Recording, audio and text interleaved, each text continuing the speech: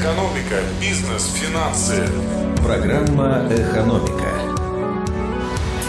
У микрофона Ольга Болезина. Здравствуйте. Налоговики ждут от 20 тысяч жителей Кирова декларации о доходах. Отчитаться за прошлый год нужно до 30 апреля, оплатить НДФЛ до 15 июля.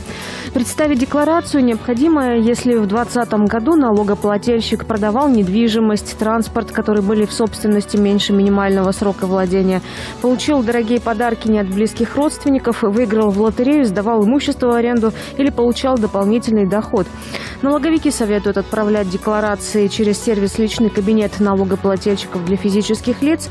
Вместе с 3 НДФЛ там же можно направить в электронном виде необходимые подтверждающие документы. Если не подать отчет до 30 апреля, придется платить штраф 20% от суммы налога или 40%, если от уплаты налогоплательщик уклонялся умышленно.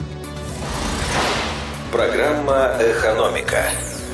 Кировской области начали делать субстанцию для производства антибиотиков. Занимается этим компания «Кибих» на площадке биохимзавода в Восточном.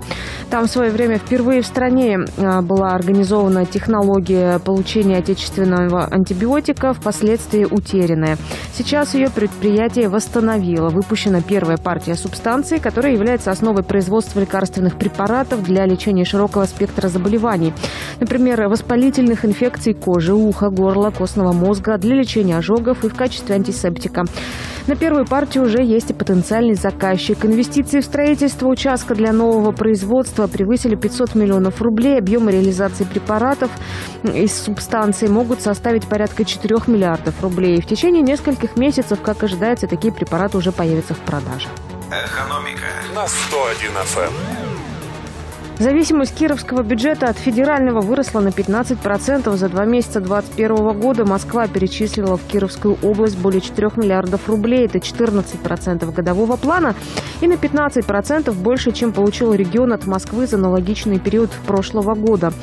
2,3 миллиарда из суммы пойдут на зарплаты бюджетникам, социальные выплаты, на оплату расходов областных учреждений.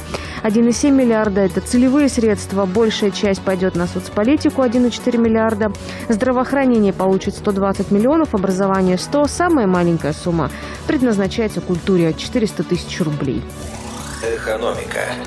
В завершение о валютах. Доллар сегодня 72,96, официальный евро 86,99. Ольга Болезина, новости экономики в Кирове. Программа «Экономика». На 101 FM.